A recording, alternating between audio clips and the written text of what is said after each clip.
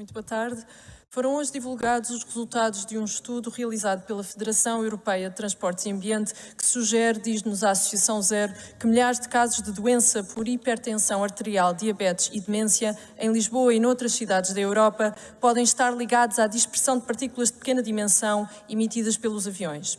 No contexto europeu, Lisboa é a cidade que tem maior dimensão urbana à volta do aeroporto, expondo assim mais pessoas à poluição do ar provocada pelo tráfego aéreo. Como sabemos, as consequências negativas da atual localização do aeroporto cedem a má qualidade do ar. Como pudemos ouvir na última reunião descentralizada desta Assembleia, na freguesia de Alvalade, os elevados níveis de ruído causam ansiedade e impedem o descanso, com consequências dramáticas para a saúde dos lisboetas. Por estas razões, mas também por questões de segurança, o LIVRE sempre defendeu o fim dos voos noturnos, o encerramento do aeroporto Humberto Delgado e um forte investimento na ferrovia para reduzir o tráfego aéreo. Com a escolha de construção do novo aeroporto de Lisboa em Alcochete, mantemos a mesma posição. Um forte investimento na ferrovia, menos voos, aeroporto fora dos agregados populacionais.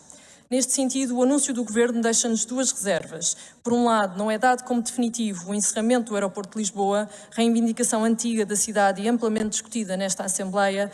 Por outro lado, propõe um aumento significativo do número de voos, o que, à luz dos vários estudos existentes, como o que hoje foi divulgado, consideramos poder ser irresponsável, primeiro que tudo, para com a saúde dos lisboetas, com o Estado Social e o erário público, e logo a seguir, imediato, e logo a seguir para com a cidade ambientalmente sustentável, com mais e melhores espaços naturais e verdes, boa boa qualidade do ar, pouco ruído, mais tranquila. Aqui está uma oportunidade para a direita provar que verdadeiramente valoriza a saúde das pessoas na cidade de Lisboa. Não haverá seguro de saúde que apague as consequências desta opção. Neste sentido, acompanhamos as deliberações aqui propostas de tornar definitiva a decisão de encerrar o aeroporto do município de Lisboa, que, logo que a infraestrutura em Alcochete esteja a funcionar, e a recusa de aumento do tráfego do aeroporto Humberto Delgado. Muito obrigada.